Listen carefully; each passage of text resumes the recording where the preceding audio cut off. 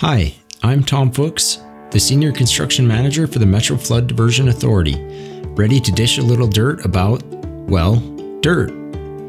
Let's start with a brief trip back in time to remind ourselves of how the Red River Valley came to be.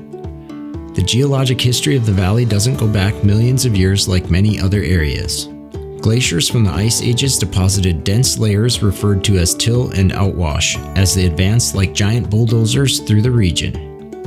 It's only been about 9,300 years since the waters of Glacial Lake Agassiz drained and formed the valley, making it one of the youngest major landscapes in the contiguous United States, as well as one of the flattest surfaces on Earth.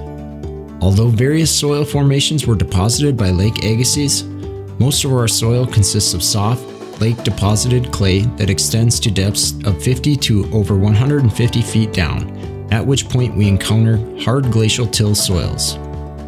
This clay is divided into several individual geologic formations. The Sherack Formation, which is the last layer of sediment deposited from Lake Agassiz, comprises the top layer going down as much as 20 feet. Below the silty clay of the Sherack Formation lies oxidized brenna, which is similar in appearance but grayer. Below these upper layers lies the Brenna and Argusville formations, which have the consistency of wet Play-Doh, although it only comes in dark gray. The glacial till soils that are encountered below the soft lake deposited clays typically consist of sandy clay containing various layers of silt and sand.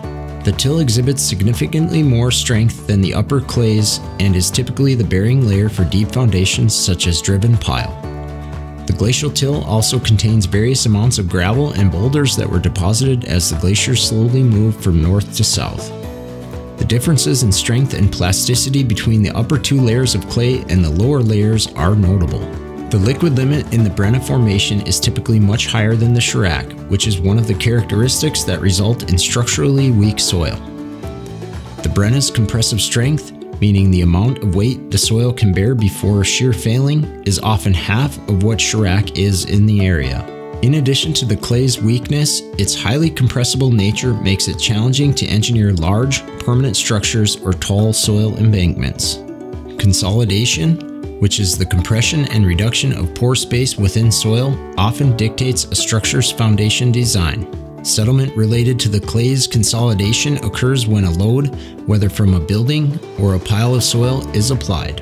In sandy soil, settlement occurs quickly upon loading and generally less overall, However, due to the plasticity and low permeability of clays, this consolidation of pore space occurs slowly and over a long period of time. Some designs allow as much as 100 years for this to occur. Given all this, what does it take to engineer permanent flood protection in the Red River Valley? Check out our Soil 201 video to find out.